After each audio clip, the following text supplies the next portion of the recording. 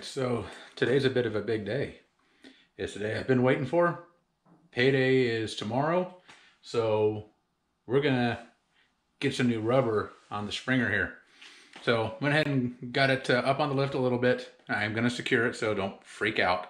But also got some of the tools that I was gonna need, and it actually turns out that it seems like the Springer is gonna be easier to get the wheels off of than what the Street Glide was. I don't need quite as big a socket. So everything seems to be fairly the same size over here. Like, you know, this nut and the one on the other side's a 15 16ths.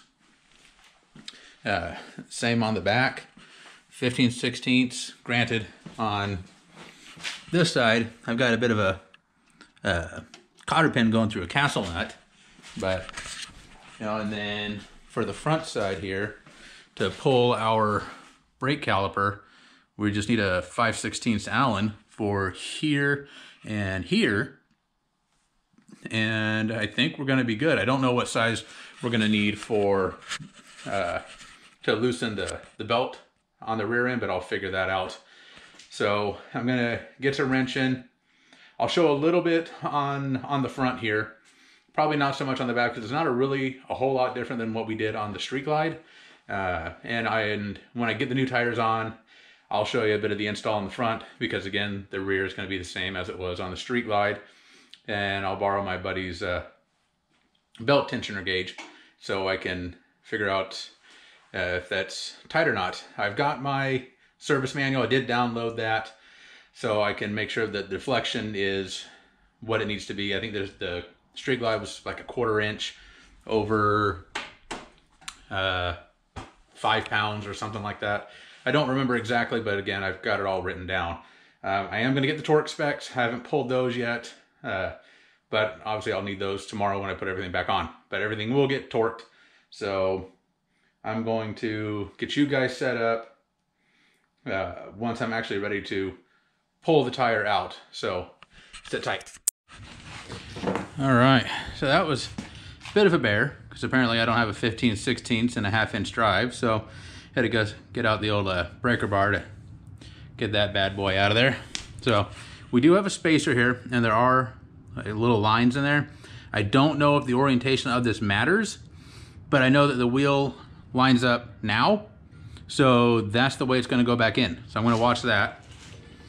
It's not looking like I'm seeing any spacers over here other than the uh, the caliper bracket. Caliper is bagged and set aside. I might have to get brake pads for it too after looking at those things. So I'll figure that out. But it's looking like this is our only spacer. We might have a washer here. I can't tell if that's part of the bracket. So got the handy mallet. Gonna give it a few smacks. That was easier than I thought. And it looks like we had an extra washer over here that was just chilling right there that I didn't see. So we'll set that down. We'll keep pulling this out. I'm gonna need two hands and everything's just gonna get rebuilt back on this axle as it came out so that way I don't lose anything. So hold up. Okay, so you can see axle is out. I did wipe it down. It had a fair amount of uh, lube on it, which I was really surprised by, but it's all put together. Obviously, it's gonna go back in the bike this direction with the spacer there. So I'm just gonna set that aside. Don't worry, I'll wipe that down again. As it is, I gotta go through these threads with a little wire brush just to kind of clean them up a little bit. They're gummy. So, come over here. Here she is. She's off the bike, and I finally found the date code. 2112. So the 21st week of 2012. Y'all, these tires, at least the front, is 14 years old if I did my math right. Holy crap, no wonder these things are like freaking rocks. So, uh, I still don't know if I'm going to clean these up before I take them into the shop or if I'm going to do it afterwards. We'll see. This I thought was a wheel weight, but it seems stuck. So, if anybody knows what the hell these things are, I got one front, obviously, and I think one in the rear. I thought they were wheel weights, but I don't think so but maybe they are. So if you guys, if any of you are smarter than me, which most of you probably are, let me know down in the comments, what the hell is that thing? So, but, all right, flip that over. everything here looks good. I don't feel any major ridges, front or rear. I don't feel any deep grooves. I think the rotor is in good shape. I don't have any micrometers to actually measure it, but I'm just, I'm going to run it because I haven't noticed anything yet riding it. But it's like I said, probably going to need to do some uh, new brake pads. And they are still Harley wheels. So at least I know they're not original to the bike. Um, but they're probably only the second set of tires this bike has ever seen, which is a little scary that I've been riding on it like this. So gonna get back over and get that rear tire off. Not really gonna show all that because we did it here. So wash, rinse, and repeat there. All right, so that rear wheel, straight up, yeah, that's what I think. I don't know what the hell they used on that rear axle, but damn. So, and for those interested, I didn't know this. Everybody else probably did. You got to take that belt guard off, this uh, chrome belt guard, so you can slip the belt off the pulley. And honestly, you probably need to, you should probably pull this too, but I wasn't to bother. I made it work. So that's off. Um, the front pads actually look fairly decent. I got to look at them a little closer. But these back pads, oh buddy, these back pads. I don't know if this is to come through or not, but you know, damn. So definitely throwing at least back pads on there. The fronts, God, the fronts are probably still like 80% good. So those got done fairly recently. But Wheels and tires are off. New tires are in the truck. Old tires are in the truck. Now, what I'm going to do is rework my straps here because these bars got to come back off. I'm going to pop these risers out of here, take those in when I take the tires in so they can drop a helicoil in that riser, get that fixed up for me. So I'm going to get to undoing everything that I've already done and get the tank cover as soon as I lay the bars over. And this is going to sit in pieces like this for a little bit. And I mean, it shouldn't be for long. So I'm to get to wrenching on that. And the next time you see it, should have a rear tire on. I'll hold off on the front until I got you guys with me. And hopefully I'll have the bars on. So we'll see what happens. All right, she's back together. I'm sorry. Uh, Buddy was here having some drinks, turning wrenches and it's it's done. So to re, kind of recap what we did here, got the new tire on, and did go ahead and replace the rear brake pads because they were done. So I picked those up, got everything on, got the the belt tensioned up. It's uh, 5 16ths to 3 eighths over 10 pounds with a little specialty tool that you can buy. So got that set, made sure that this rear tire was centered you know, left to right. So I did that by pulling a number off of the swing arm nut center to the center of the axle on both sides. For me, it worked out to, I think, 16 and 3 quarter inches. So once they matched, I knew this, this tire was centered and wasn't canted one way or the other.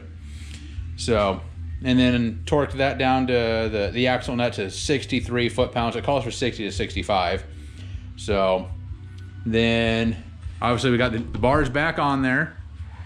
Got the helicoils in the, the risers and torqued those down to about 170 inch pounds. Okay, inch pounds. It can go up to 180, but I decided let's give it a whirl at 170 because what I did is I took some of that, and I already put it away, but uh, you use it for like suspending HVAC or plumbing to the ceiling.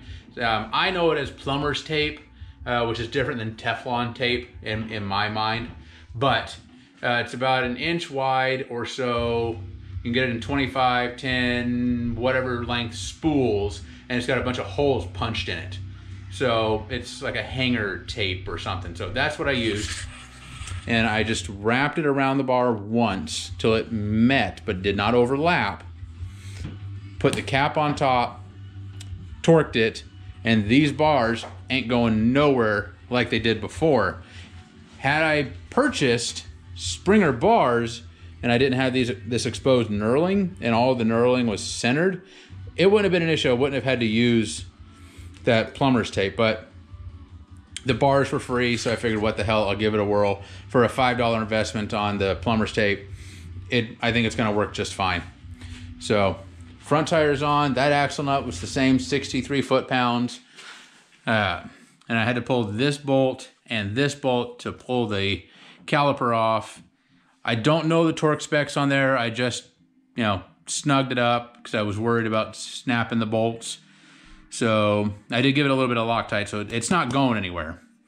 But uh, it's it's much more better. And like I said, these are the uh, I already forgot what they're called. uh, the uh, Cruisetecs. They're ooh, Springer farted. It's what I've got on the Street Glide. So I'm gonna enjoy them on here, I'm sure. But those old tires, like I said, they were 12 years old. They had to go. So I think, and don't quote me on this, aside from aligning that headlight, the, the springer's done. I know I'm, I, I already have to take that back. New air cleaner, new seat, minimum. I think once those two are on, springer's done. We'll see. And let me let me know what you guys think down below. I did pull the heat shields off, and I really like how all that looks. You know, the golds, the blues, the purples. I think we're going to run it like that. So, and then I'm going to put it out to all of you out there. I want to vote. Crash bar, or sorry, not crash bar, beer rack. Keep it, leave it. I'm, I'm really 50-50. I like the functionality of it, but I'm not running a sissy bar, so it's really non-functional at this point. It's purely decorative. But I also like how it looks without the beer rack. So let me know. And I'll tell you what, most votes wins. If you guys say keep it, I'll keep it. If you say get rid of it, I'll get rid of it and hang it on the wall, mind you. Hang it on the wall. I'm not selling it. So, pretty sure we're gonna go with the Saddlemen. I just gotta save up some more money because that's gonna be about 300 bucks. I think I'm gonna do the, the dark green stitch to kind of go with the paint. So, at this point, about all that's left now is to get it out in some sunshine on a clear day, which is kind of rare right now, and fire it up. You guys have yet to hear the bike run. So that's the next thing on the agenda once I get a nice day. So that's it. You know, Fat Boy might be going away. Street Glide's not going anywhere. And pretty sure the Springer ain't going nowhere. So questions, comments, concerns, as usual, drop them down below. I always get back to you. Uh, if you would, if you're enjoying this, you know, go ahead and give me a like, hit me with a subscribe. Super helpful. And all of you 176 at time of filming that have already subscribed, you all are freaking amazing. I love each and every one of you in the appropriate ways and maybe some of you in the inappropriate ways, but I'm not going to tell you which was which. So that's about all I got. Y'all take care and we'll catch you next time. Later.